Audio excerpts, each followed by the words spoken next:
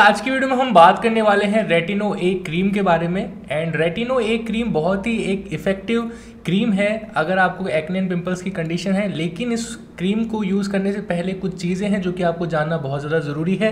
And ये किसी भी तरह का जो है सजेशन नहीं है आपको। मैं इस वीडियो को बना रहा हूँ सिर्फ़ एजुकेशनल पर्पज़ के लिए सो आप बस इसके बारे में जानकारी लीजिए। बिना आ, या मुझसे पूछे या किसी डॉक्टर से पूछे आप इसे यूज़ मत कीजिएगा बिकॉज़ ये एक बहुत ही ज़्यादा इफ़ेक्टिव रेटिनॉइड है एंड ये आपकी स्किन को जितना ज़्यादा इफ़ेक्ट करेगा उतना ज़्यादा साइड इफ़ेक्ट्स भी जो है दे सकता है। इसीलिए इसके साथ में आपको बिल्कुल भी लापरवाही नहीं बरतनी है। इसीलिए जो जो मैं आपको इस वीडियो में बताने वाला हूँ, उसी तरीके से आपको इस्तेमाल करना है। अदरवाइज़ आपको बहुत सारे साइड इफ़ेक्ट्स हो सकते हैं एंड कुछ केसेस में ये साइड इफ़ेक्ट परमानेंट भी हो सकते हैं। ठीक है? सो जितनी ज़्यादा अच्छी क्रीम है, उतनी ही ज़्यादा ये बेकार भी हो सकती है आपके लिए। बहुत सारे वीडियोस आपको इसके ऊपर मिल जाएँगे, लेकिन किसी ने भी आपको डिटेल में इसके बारे में नहीं बताया हुआ। और बहुत सारे लोग हैं जो कि ऐसी वीडियोस देखने के बाद में इसको यूज़ करना स्टार्ट कर देते हैं एंड उनको फ्यूचर में बहुत सारे साइड इफ़ेक्ट्स हो जाते हैं। ये क्रीम आपको बहुत सारे परसेंटेजेस में अवेलेबल है। ये आपको 0.025 परसेंट की भी कंसनट्रेशन में अवेलेबल है। ये आपको 0.05 परसेंट की कंसनट्रेशन में भी अवेलेबल है। एंड ये आपको 0.5 परसेंट की भी कंसनट्रेशन में अवेलेबल है। ठीक है तो ये एक रेटिनॉइड एसिड बेस्ड क्रीम है। रेटिनॉइड एसिड बहुत ही ज़्यादा इफ़ेक्टिव या मान लीजिए बहुत ही ज़्यादा स्ट्रॉन्ग डेरिवेटिव है वाइटामिन ए का। रेटिनॉइल बहुत तरह के होते हैं। एक रेटिनॉल होता है रेटिनॉइड्स होते हैं रेटिनॉइक एसिड होता है रेटिनॉइड एस्टर्स होते हैं। तो रेटिनॉइक एसिड जो है, ये बहुत ही ज़्यादा इफ़ेक्टिव होता है। और ये पाया जाता है आपके मोस्टली क्रीम्स में। तो रेटिनो एक क्रीम जो है रेटिनोइक एसिड से मिलकर बनी है। बाकी रेटिनॉल के सीरम्स आते हैं जो कि काफ़ी जो है, इतने ज़्यादा स्ट्रॉन्ग नहीं होते हैं, इसीलिए वो सेंसिटिव स्किन के लिए बहुत अच्छे होते हैं। अगर मैं इस क्रीम की बात करूँ तो ये क्रीम सेंसिटिव स्किन के लिए इतनी अच्छी नहीं है बिकॉज़ ये आपकी स्किन को इचीनेस या बर्निंग सेंसेशन जो है, हो सकता है अगर आप इसको यूज़ करेंगे। और इस क्रीम को लगाने के बाद आपको कभी भी धूप में नहीं जाना है। सबसे पहली चीज़, ये क्रीम को किन लोगों को लगाना चाहिए? तो सबसे पहले जिन लोगों को एक्ने एंड पिंपल्स की कंडीशन है या उनको पिंपल मार्क्स की कंडीशन है तो आप इस क्रीम का इस्तेमाल कर सकते हैं। एक चीज़ जो को आपको बिल्कुल ध्यान रखनी है इस क्रीम के यूजेस के साथ में कि इसको बहुत ही ज़्यादा क्वान्टिटी में यूज़ नहीं करना है, इसको बहुत ही कम क्वान्टिटी में यूज़ करना है बिकॉज़ बहुत सारे केसेस में ये आपकी स्किन को ड्राई कर सकती है, आपकी स्किन को इरीटेट कर सकती है और बहुत सारे केसेस में आपको रेडनेस की इशू भी हो सकती है।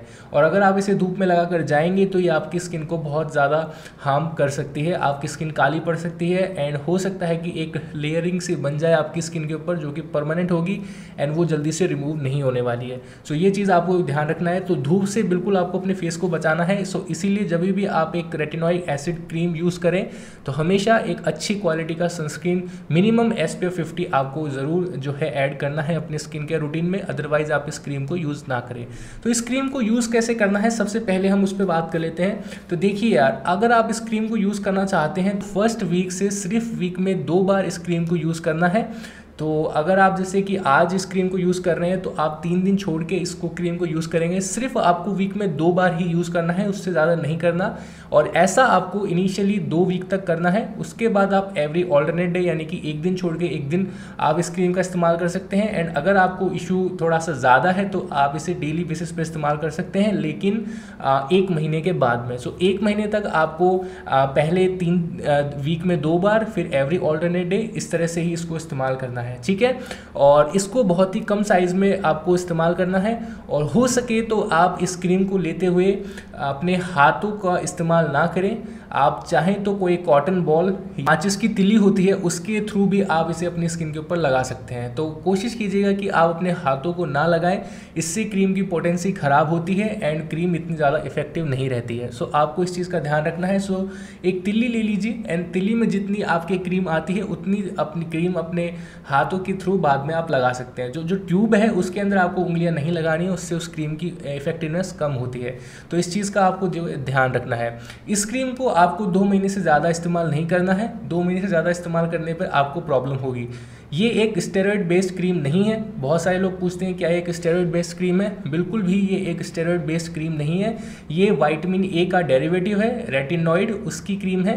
एंड ये आपके, सिर्फ़ टॉपिकल यूज़ के लिए है तो आप इसको खाएँ नहीं प्लीज़ बहुत सारे लोग हैं जो कि तरह तरह की वीडियो देख रहे हैं और खा भी रहे हैं।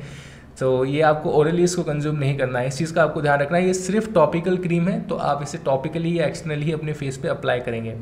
ठीक है? ये क्रीम वर्क करने में कितना ज़्यादा टाइम लेती है? सबसे पहले हम इस चीज़ को जान लेते हैं। तो ये क्रीम वर्क करने में कम से कम एक महीना लेती है तो एक महीना आपको इस क्रीम को देना पड़ेगा। ये क्रीम कैसे वर्क करती है कि अगर आपकी स्किन बहुत ज़्यादा ऑयली है तो आपकी स्किन को जो है काफ़ी ड्राई करती है बिकॉज़ ये जितना भी सीबम है उसको काफ़ी कंट्रोल करती है, जितना भी एक्सेसिव सीबम बन रहा है उसको कंट्रोल करती है एंड ये क्या करती है, आपकी स्किन में सेल जनरेशन के टर्नओवर रेट को बढ़ा देती है। तो इससे होता क्या है कि आपकी स्किन बहुत तेज़ी के साथ में रिपेयर होती है एंड बहुत ही ज़्यादा अच्छे आपको रिजल्ट्स मिलते हैं।